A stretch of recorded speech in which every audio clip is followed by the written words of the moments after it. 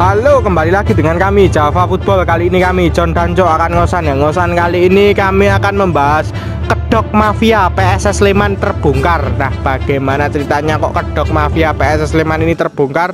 Oke, kita saksikan saja bersama.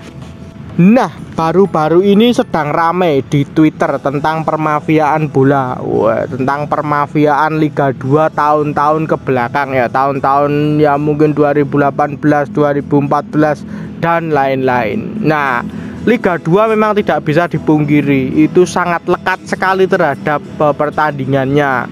Walaupun memang beberapa tim sudah mulai tersandung. Nah, saya juga tidak menyalahkan tim-tim yang tersandung atau tim-tim yang ikut dengan mafia. Karena apa ya? Sepak bola liga ini memang tidak bisa dipungkiri. Masih sangat banyak sekali mafia. Jangan harap kalian itu tim kalian itu paling bersih sendiri tidak pernah diuntungkan dan lain-lain. Pasti semua juga pernah diuntungkan juga pernah dirugikan. Nah kita membahas itu ya. Nah Kali ini kan kita mau membahas tentang PSS Slemannya ini. Ya walaupun memang PSS Sleman ini 2018 itu kasus yang terjadi yang hangat kemarin ini kan saat melawan Mag, Madura FC di Stadion Maguwarjo dengan gol-golnya yang mungkin agak eh, kontroversi ya itu itu yang terjadi. Tapi kita kalau boleh menarik ke belakang PSS Sleman juga pernah menjadi korban bahkan klub ini juga pernah menjadi e, merasakan pahit manisnya Liga Indonesia juara tanpa naik kasta. Lalu yang kedua sampai sepak bola gajah demi menghindari klub yang mungkin sudah jelas-jelas itu sudah diprediksi sejak awal. Nah itu ya e, kalau kita menarik ke belakang memang klub-klub Liga 2 itu sudah sering merasakan pahit manis tentang mafia di Liga 2 jadi ketika mereka diuntungkan kita juga nggak kaget. Banyak nih sebenarnya nggak hanya tentang uh, eh, PSS Sleman. Kita kalau boleh menarik ke belakang ada dari uh, mungkin Ibate Persebaya atau PSIS Semarang yang pernah merasakan Liga 2 lah Persis Solo. Itu kita tahu sendiri Liga 2 itu seperti apa bagaimana nah, kalau kita menarik ke belakang pasti ada kasus-kasus yang terjadi seperti ini. Dulu Persita Tangerang. Nah itu kan terjadi juga ya Liga 2 waktu itu juga Kapten Egi Melgiansa itu juga sampai protes ke wasit tolonglah fair play dan lain-lain. Nah itu karena memang kebusukan di Liga 2 itu wah sangat ngeri pak. Sangat menjamur. Nggak nek di Liga 1 mungkin nggak separah Liga 2 ya. Liga 1 mungkin hanya beberapa uh, saja. Tapi kalau Liga 2 itu kalau sudah mulai memasuki 16 besar 8 besar 4 besar itu wah mafia sudah mulai nongkrong di pinggir lapangan. Bukan hanya soal ngangkat tangan saja dan lain-lain tapi soal wah kudu menang. Sampai sampai masuk locker room dan lain-lain wah Liga 2 memang keras bro. Jadi jangan kaget lah ibaratnya ojo kaget gue gini klub Liga Loro iki seperti itu. Gue coba maino klub musim Liga Siji Liga Siji iki maino Liga Loro dadi ben mudeng mafiane Liga Loro iki kaya piye. Nah, menurutmu gimana, Cuk? Tentang kasus yang viral diangkat lagi di Twitter ini. Ya, memang ini kasus terjadi tahun 2018 saat itu heboh ya. Bahkan uh, sampai mata Najwa itu berjilid-jilid membahas soal mafia bola tapi yang disoroti saat itu adalah PSS Sleman, PSMP Mojokerto, Kalteng Putra dan lain-lain. Itu kan dulu yang uh, apa ya merasa terzolimi itu Madura FC ya.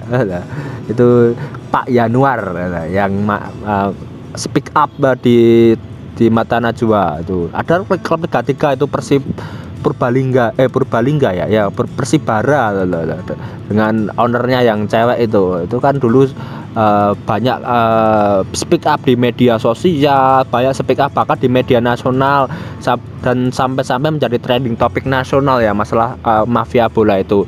Dan itu akhirnya menyeret uh, Vigit Waloyo, uh, Hidayat, Joko Driono dan lain-lain. Oh iya dulu sempat Persija juga kena itu, anu juga keseret namanya loh.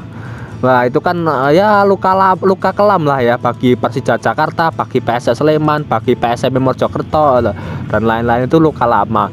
Tapi akhirnya kan uh, semakin tahun Persija dan PSS menutupi masalah masalah itu dengan ya prestasi, dengan dengan pengembangan. Tapi akhirnya kan untuk saat ini dibuka lagi tuh kasusnya Wah.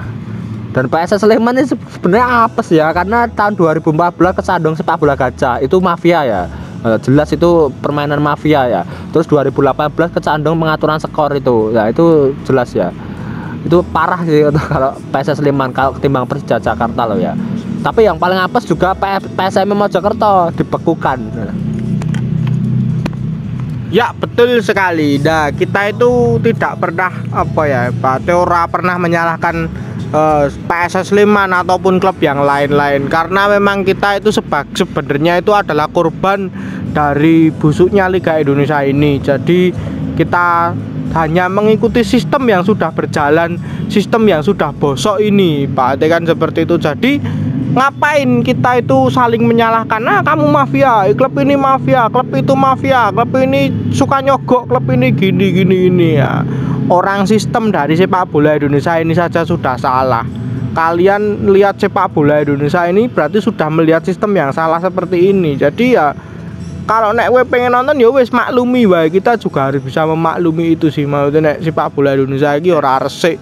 Eh, Pak mafiane oke tadi ya memaklumi. Bahkan dulu tiap tahun nek ono sing juara atau naik kasta dan lain-lain mata najwa itu pasti ada sampai bahkan berjilid-jilid.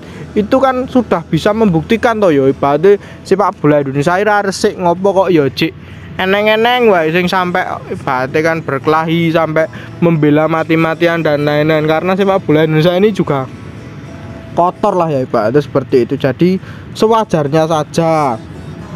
Gak usah saling mengejek. Wah PSS Sleman mafia ini gini supporternya gini klubnya gini mafia naik kasta karena mafia bla bla bla bla belum tentu klub yang kamu dukung itu bersih bener-bener nggak main mafia nggak main sogok nyogok dan lain-lain itu belum tentu.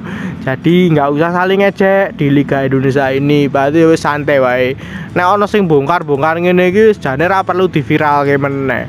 Jadi kalau diviralkan itu banyak yang cari muka ibaratnya kan seperti itu dengan dengan sepak bola Indonesia atau mungkin sok suci lah ya dia wah membongkar saya pernah membongkar kasus ini dan lain-lain ya wah seakan-akan dia itu ibaratnya pahlawan terhadap sepak bola Indonesia. Seakan-akan dia paling bisa membersihkan sistem dari sepak bola Indonesia. Kita juga tidak tahu maksud dan tujuan dia itu seperti apa. Jadi oh rasa perlu digagas rasa perlu dibalesi. Nek kowe pengen nonton babalan ya wis nonton wae. Sekat sekadarnya wae ora perlu kudu wah dukung klub iki kudu ngene ngene ngene. Ya ora perlu kudu ngono santai wae Pak. Dan seperti itu. Jadi untuk klub-klub yang lainnya itu eh, jangan merasa kalian itu bersih Pak. Seperti itu. Terus untuk PSS Sleman sendiri yang saya lihat supporternya sudah mulai uh, banyak yang menyerang ya. Menyerang sana kemari menyerang sana kemari. Nyerang bahkan nyerang klub-klub yang lain dan lain-lain. Itu juga salah. Ibaratnya ya wis menang wae lah. Gue tetap dukung PSS Sleman wae ra perlu sampai keluar ranah-ranah. Nyerang klub sana nyerang klub sini. Klub sana juga mafia klub sini juga mafia. Ngopo kok gue nganu klub kutok dan lain-lain? Itu nek ora digagas atensi ini nol orang itu juga nggak bakal viral lagi di Twitter. Jadi intinya sih seperti itu ojo kegowo emosi sih Pak De.